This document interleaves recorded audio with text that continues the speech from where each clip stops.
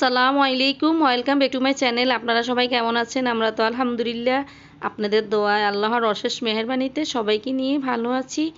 তো প্রতিদিনের মতো আজও নতুন আরেকটা ভিডিও নিয়ে আপনাদের মাঝে চলে আসলাম। তো আজকে মাঘ ফেরাতের পনেরো রমজান চলতেছে। তো আমি হচ্ছে এখন এখানে আজকে ডিমের পুটিং বানাবো, সেজন্য আমি দুধগুলো জাল দিয়ে নিলাম। এখন এটা ঠান্ডা করে দুধের সঙ্গে অ্যাড করে নিব ডিমগুলো। তো এটা করার উদ্দেশ্য হচ্ছে আজকে অনেক দিন হলো আমার ভাইকে কিন্তু দাওয়াত করছি ইফতার করার জন্য। ও কিন্তু আসেনি তো আজকে অবশেষে আসবে সেজন্যই এগুলি বানাতেছি। আমরা ঢাকা থেকে বাড়ি আসার পর থেকেও কখনো আমাদের সাথে আর ইফতার করেনি। এবার প্রথমবার করবে, তাই একটু ওর জন্য একটু ডিমের পুটিং বানিয়ে নিলাম। তো সাথে পল ফ্রুট কেটে দিব আর বিরিয়ানি করব, সেটাও আপনাদের সাথে শেয়ার করব। তো ডিমের পুটিংটা রেডি করে নিলাম। এখন চুলা একটি পাতিল বসিয়ে পরিমাণ মতো কিছু পানি দিয়ে দিলাম। এখন এ পানির উপরে ডিমের পুটিংয়ের পাত্রটা বসিয়ে দিলাম। তারপর উপর থেকে একটা ঢাকনা দিয়ে ভারী কিছু চাপ দিয়ে রেখে দিব।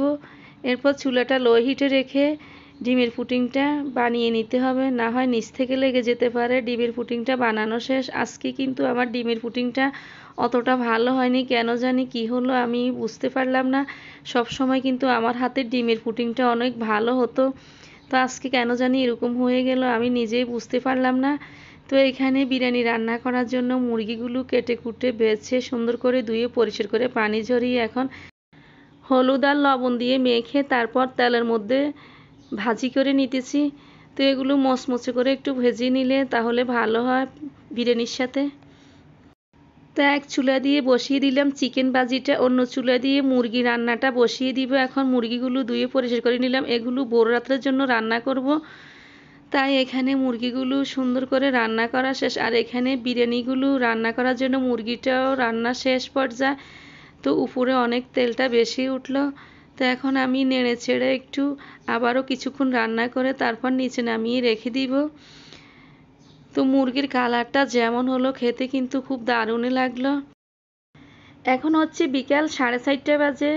এক চুলা দিয়ে আমি পেঁয়াজগুলো ভেজে নিতেছি, অন্য চুলা দিয়ে বিরিয়ানি রান্নাটা বসিয়ে দিলাম। তো এখন এখানে পরিমাণ মতো কিছু কড়াইয়ের মধ্যে তেল দিয়ে দিলাম। তেলটা গরম হওয়ার পর ধুয়ে রাখা পোলাও চাউলগুলো কিছুক্ষণ রেখে দিলাম, তারপর পানি ঝরিয়ে যাওয়ার পর এখন তেলের মধ্যে পোলাও চাউলগুলো দিয়ে তারপর নেড়ে ছেড়ে দশ মিনিটের মতো ভেজে নিব।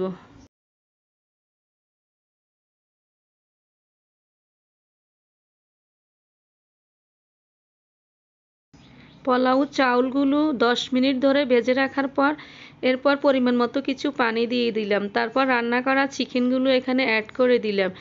এখন নেড়ে ছেড়ে ঢাকনা দিয়ে রান্নাটা কমপ্লিট করে নিব।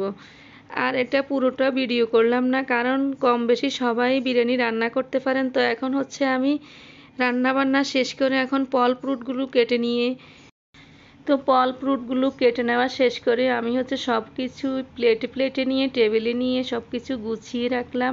আপিপা নিয়ে আসতো আজকে অনেক খুশি, ওর মামা আসবে, মামার সাথে ইফতার করবে। তো আমার থেকে অনেক ভালো লাগছে অনেক দিন পর ভাইয়ের সাথে ইফতার করব, ভাই বলে কথা।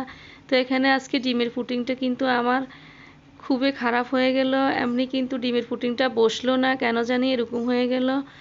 তো অবশেষে সব কিছু টেবিলে নিয়ে আসলাম।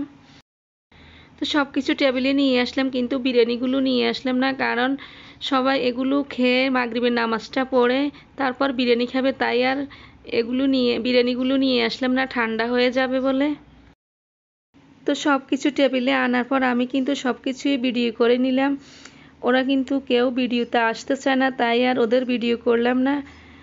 তো এখন সবাই ভালো থাকেন, সুস্থ থাকেন। আজকের মতো এখানে বিদায় নিলাম। আল্লাহ হাফেজ।